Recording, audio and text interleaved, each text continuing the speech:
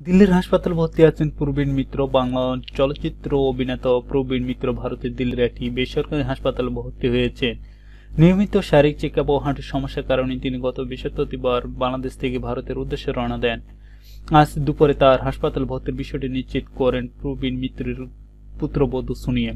গণমাধ্যমকে জানিয়েছেন আব্বার বোন এবং পরিবারের অনেক সদস্যরা ভারতে থাকেন। তাদের সঙ্গে দেখা এবং শারীরিক চেক আপের জন্য তিনি দিল্লির একটি হাসপাতাল ভর্তি হয়েছেন।